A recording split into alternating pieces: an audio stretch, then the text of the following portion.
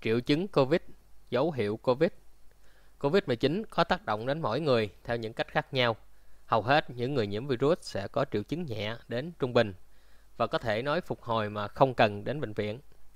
Các triệu chứng thường gặp nhất là sốt, ho, mệt mỏi, mất vị giác hoặc khú giác, đau mình. Các triệu chứng ít gặp hơn, đau họng, đau đầu, đau nhức, tiêu chảy, da nổi mẩn hay các ngón tay bị tấy đỏ, tái tím, mắt đỏ hoặc ngứa.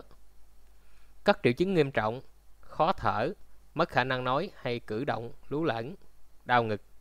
Hãy đi khám ngay nếu bạn cảm thấy có triệu chứng nghiêm trọng. Luôn gọi trực tiếp đến bác sĩ trước khi đến cơ sở y tế. Những người có triệu chứng nhẹ và không có biểu hiện nào khác nên điều trị tại nhà.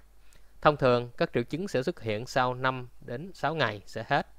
Tuy nhiên, thời gian này có thể lên đến 14 ngày. Chúng ta nên ăn và uống cho cơ thể có sức khỏe để chống chọi lấy bệnh tật.